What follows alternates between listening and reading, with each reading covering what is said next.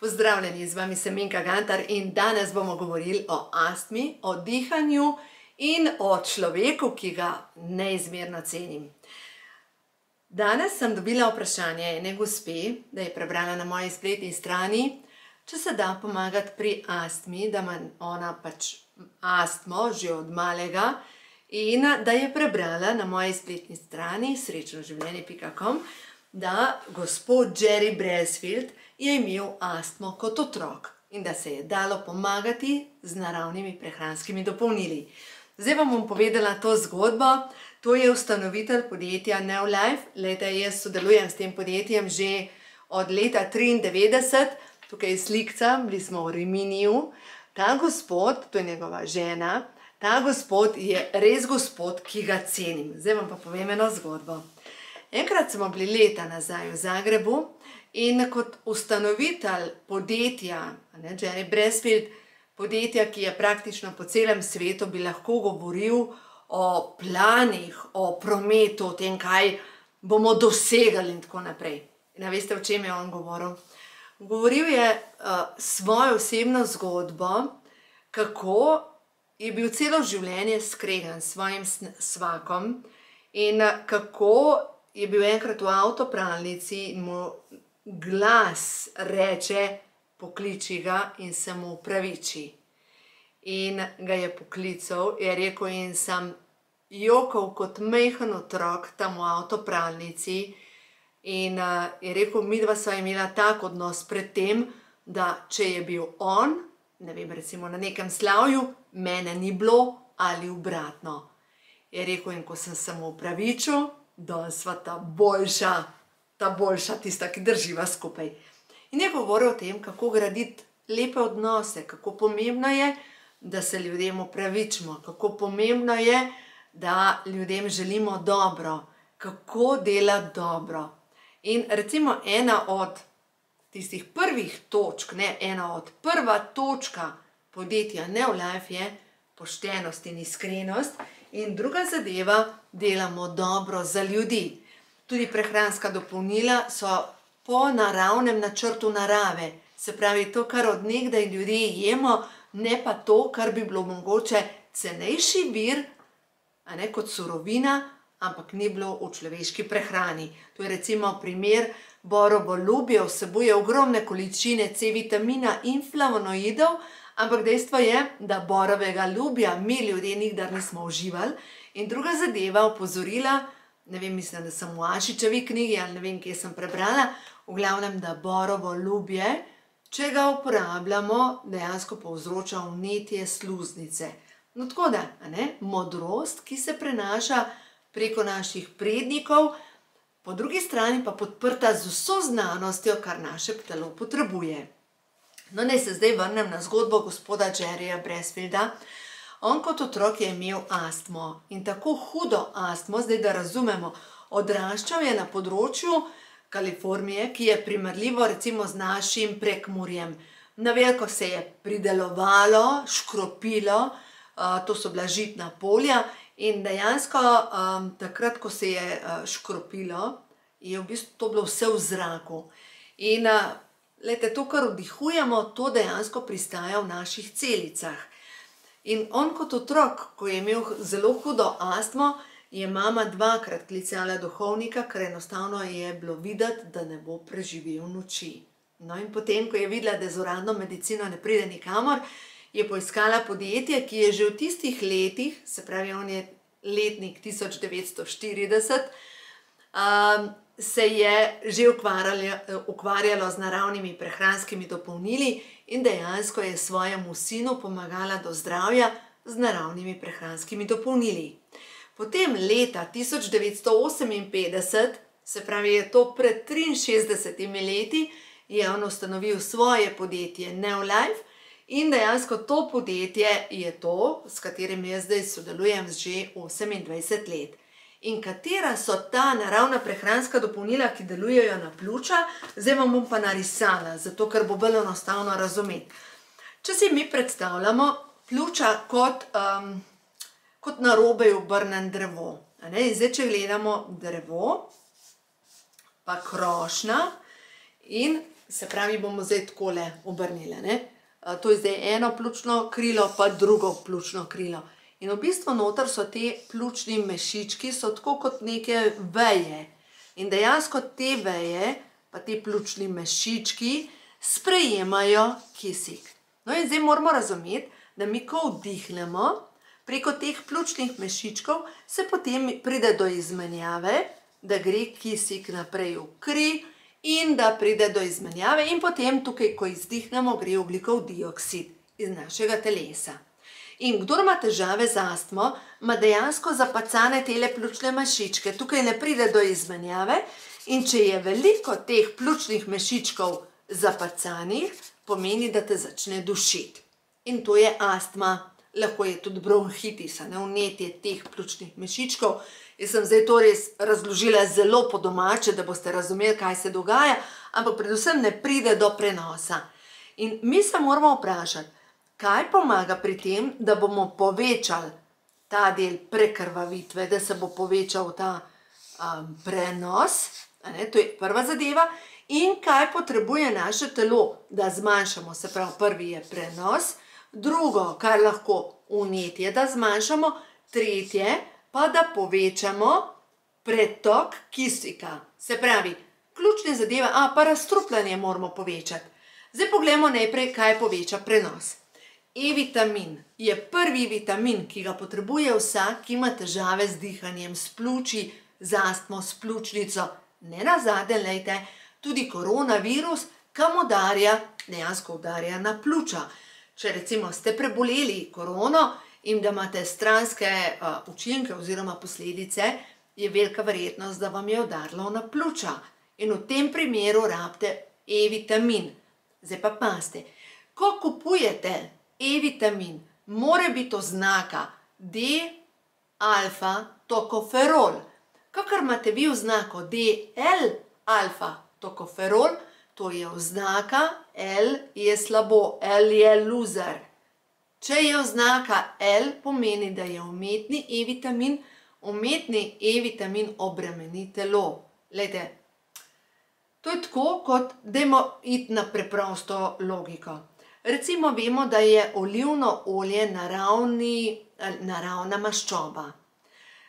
A boste vi dali na solato umetno olivno olje? Ne boste. Dejansko, kdor je pameten, ne daje na solato niti rafiniranega sončničnega olja, je to tako? In zdaj umetni E-vitamin je pa dejansko umetno proizveden. In da ga dodajaš kot prehransko dopolnilo, to ni blizu zdravi pameti. Prav ni. No, tako da v glavnem bodite pozorni na to oznako, uporabljajte zgolj naravni E-vitamin. Če se odločite, da boste vzeli pri meni, pri podjetju, a ne, ker jaz sodelujem zdaj osemindvajset let s podjetjem Neolife, je to tole. To je olje iz pšeničnih kalčkov. To olje iz pšeničnih kalčkov, noter je sto kapsul in na dan vzamete dve do tri kapsule. Zdaj imamo pa naprej ampak. Zakaj pa ampak? Zato ker, če boste vi samo dodajali maščobe, se pravi, to je omega šest maščobna kislina, brez omege tri se vam bodo povečala vnetja v telesu. Zato je nujno zraven dodajati še omego tri. Omego tri vzamete ravno tako tri na dan, to je tisoč miligramov, vzamete vse skupaj zvečer pred spanjem ali po večerji. Zdaj pa naprej poglejmo. S tem, poglejte, povečate prekrvavitev, E-vitamin dovaja kisik v pljuča, posledično možgane, posledično vsako celico pride do večjega vžiga, do boljšega razstrupljanja, ne, ker kisik je tisti, ki pomaga pri tem, da da se boljše počutimo, ne, ker če ni kisika, ni življenja. Dejstvo pa je, da tudi podivjani tile, ja, elektroni, se pravi prosti radikali, seveda, glejte, ko je večji pretok kisika, se poveča tudi več prostih radikalov, spet potrebujemo E-vitamin, je tisti vitamin, ki veže nase proste radikale in zmanjša tudi vnetje na celični bazi. No, zdaj pa gremo naprej, vnetje. Vnetja se zmanjšajo na podlagi omege tri. Omega tri ne samo, da je za pljuča, deluje tudi na srce, ožilje, prekrvavitev, zaputiko oziroma protiputiki, to je že vnetje, ne sečne kisline. Potem um, omega tri deluje na um, luskavico oziroma proti luskavici, na splošno obnavlja sluznico, črevesja, želodca in tudi dihalnih poti. Omega tri deluje na, na možgane, na bolj čvrste, ne čvrste, na, na mielinsko vojnico.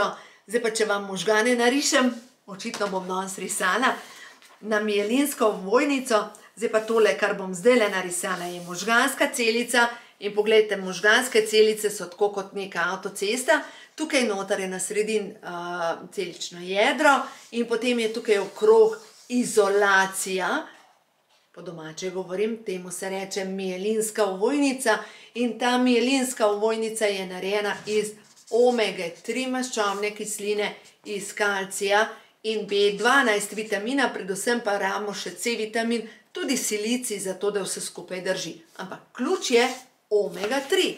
Brez omega tri ta mielinska ovojnica začne um, pokati in pride do tega, da ne zmoremo zbrano razmišljati oziroma kdor ima načeto mielinsko ovojnico, je zrel za depresive, antidepresive, zaradi tega, ker je cel raztreščen. No, gremo naprej na pljuča, na astmo. Rekli smo, E-vitamin, omega tri, ampak potrebno je povečati razstrupljanje. Se pravi, tole, kar se je nalepil na te pljučne mešičke, je potrebno na en način spraviti stran iz pljuč. Zdaj pa kako to naredimo? Potrebujemo kombinacijo cink, baker, selen, tudi jod, B2 vitamin, B3 vitamin, B6 vitamin. Vem, da zdajle razmišljate, joj, kako naj to sestavim. lahko sestavite, vzamete dobro prehransko dopolnilo, ki ima praktično vse vitamine pa minerale, jaz vam pa poročam, vzemite beta-guard, ki ima to že vse noter, in nekoč, ko sem delala še predstavitve, sem dejansko to priporočala ljudem, ki so kadilci, zaradi tega, ker sčisti pljuča in za tiste, to zdaj govorim besede, ki so, ki sem se jih naučila. Kdor je kadilec in kdor ima težave s pljuči, lahko vzame tudi po šest teh tabletk na dan, in kaj se je zgodilo enkrat, ko je en gospod vzel po šest tabletk na na dan, je začel izkašljevati. Kaj mi je potem rekel? Rekel je, da je toliko izkašljal tega katrana v svojih pljučih, da bi lahko asfaltiral celo dvorišče. No, v glavnem, beta-guar je tisti, ki pomaga pri tem, da se sčistijo pljuča, predvsem, da pobere, pobere ven vse tudi težke kovine, zato ker poglejte, tisti, ki živite na področju, kjer se pač kropi, recimo Prekmurje, tudi Sorško polje je kar precej onesnaženo, recimo tukaj pri nas Škofja Loka, spada v bistvu na področja, ki je najbolj obremenjeno s toksini. Pa bi človek rekel, pa saj smo tukaj pod hribi noter, pa saj to nemogoče. Ampak če pogledamo, tukaj so tovarne, ki se neprestano iz njih kadi dim. In če recimo v tistih meglenih dneh pogledamo, če gremo majčkeno višje gor, recimo Križna gora, se točno vidi, kje so ti kupčki, ki zastrupljajo naše ozračje. Letališče nenazadnje je tukaj zelo blizu in tukaj škofjeloška industrijska cona pa kranjska industrijska cona in to je vse tukaj in nenazadnje Ljubljana je na dosegu roke. Medvode imajo ravno tako kakšen dimnik, glejte, in vse to zastruplja in to ostane tukaj noter v tej kotlini. Pojdimo na ta področja. Prav na teh področjih, poleg tega, ne, Sorško polje se precej škropi. Kakorkoli obračamo, ja, a je normalno, da zraste štiri metre visoka koruza? Ne vem, jaz mislim, da ne. Da nekaj mora biti s to koruzo, da toliko visoka zraste. No, v glavnem, ko mi dodamo cink, baker, selen, B-vitamine, tudi C-vitamin, E-vitamin, se v bistvu spravimo hormonske motilce oziroma motilce, težke kovine, recimo kot je kot je živo srebro, kadmij, poberemo iz pljučnih mešičkov in zdaj pa še ta zadnja zadeva, da pa te kisline spravi telo iz telesa pa potrebujemo kalci. No in v tem primeru bi vsekakor priporočila še, vzemite še kalci magnezij z D3 vitaminom, zaradi tega, ker s tem povečate razstrupljanje na celični bazi, kisline postanejo soli in ko postanejo soli, dobesedno to polulate. Gre iz telesa ven. No in zdaj pa ne samo, da boste s tem spodbudali razstrupljanje pljuč, to je kombinacija, zdaj pa poglejte, E-vitamin za mladost, za prekrvavitev kože, omega-3, smo že rekli, za možgane. Potem, če gledamo beta-guard, ne deluje samo na pljuča, na razstrupljanje, ampak dejansko na vsako celico in pobere strupe ven. Kalcij deluje na alkalizira telo, se pravi, razstrupi telo, poleg tega D-vitamin vemo, da deluje na vse procese v našem telesu, predvsem pa zmanjša vnetja v sklepih.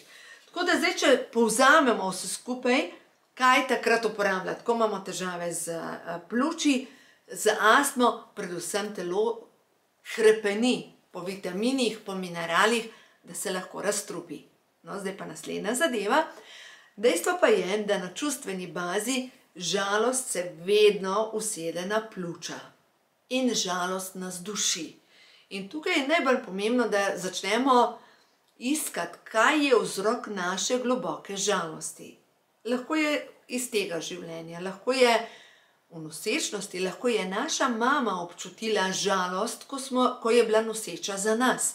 Recimo, če je takrat v tistem obdobju nekdo umrl od maminih bližnjih in ni imela priložnost niti žalovati, je potlačila to žalost in dejstvo je, da plod, ne, dojenček, občuti vsa ta občutja mame.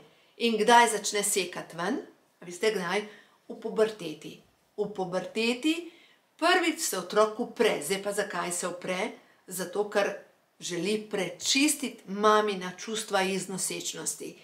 In, hm, a veste, saj za nazaj ne moramo nič popraviti, to je dejstvo. Ampak kar pa lahko naredimo, če imamo mogoče naše otroke, ki imajo če ima nekdo astmo, lahko izvajamo za otroka zdravilno molitev dekodiranja. In tako kot je zadnjič gospa mi poslala sporočilo, gospa Nevenka, kako je pomagala zdravilno molitvijo dekodiranja svoji hčerki, da zdaj lahko prehodi že en kilometer, brez da postane pomodrela, prej pa je par stopnic dejansko ni mogla prehoditi, prestopiti zaradi težave s pljuč, prirojenih težav, s srcem in Downovega sindroma, dejansko zdravilna molitev dela čudeže. Kaj je to? To je, čakajte, da, da zdaj jaz to najdem, v glavnem tole zdravilna molitev dekodiranja, jo začnete izvajati, dobite na internetu, lahko jo tudi naročite in boste videli, to je stvar, ki res pomaga, to je orodje, ki res pomaga. In zdaj, če gledamo skupek, eno je hrana, drugo je dekodiranje tega, kar nosimo na svoji, to je prav sedež duše, potem pa mora biti drugače. Potem se pa morajo stvari začeti obračati drugače in ja, jaz verjamem v to, da vsaka stvar v življenju pride z namenom zato, da napredujemo na naši poti. In to je pač proces. Tako da uživajte, jaz upam, da sem s to informacijo komu pomagala, in predvsem delajte na tem, da boste poskrbeli za svoje dobro počutje in nenazadnje zdajle kmalu bo začel cveteti pljučnik, zelišče, ki je ključno tudi za naše naša pljuča, ali pa recimo slezenovec. To so zelišča, ki pomagajo pri tem, da prečistijo naša pljuča, ali pa recimo, če gledamo timijan, timijanova krema, vse to pomaga za naša pljuča, sploh pri ljudeh, ki kašljajo, kašljajo, kašljajo, v tem primeru absolutno timijanova krema, ker dejstvo je, da timijan direktno zdravi ne samo fizično telo, ampak celo srčno čakro, ker to je povezano točno s tem predelom. Tako da, uživajte, imejte se lepo, življenje je lepo, ne glede na to, kakšno karanteno imamo ali jo pa nimamo, življenje je še vedno lepo. Poglejte, od zunaj se cveti, začnite še vi cveteti. Uživajte!